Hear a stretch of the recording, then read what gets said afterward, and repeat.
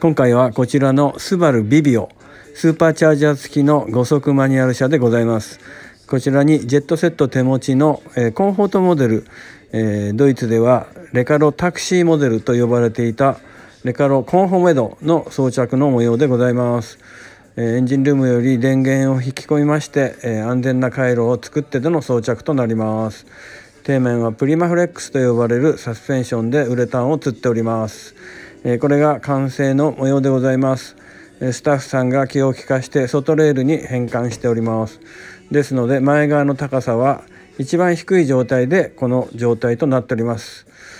このようなお車に、快適なシートをとご検討のお客様ぜひ八王子ジェットセットにアクセスをお願いいたします。スタッフさんの心のこもったアイデアルな装着が待っております。